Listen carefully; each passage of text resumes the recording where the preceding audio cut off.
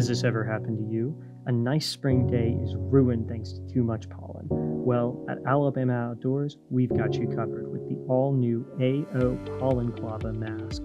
The AO Pollenclava mask features 100% pollen proof fibers, a custom AO logo printed on the front, and a special eye mask that locks pollen on the outside and locks tears on the inside where they belong.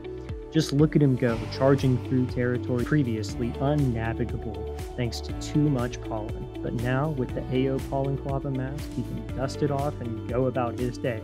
Check it out now at your local Alabama Outdoors.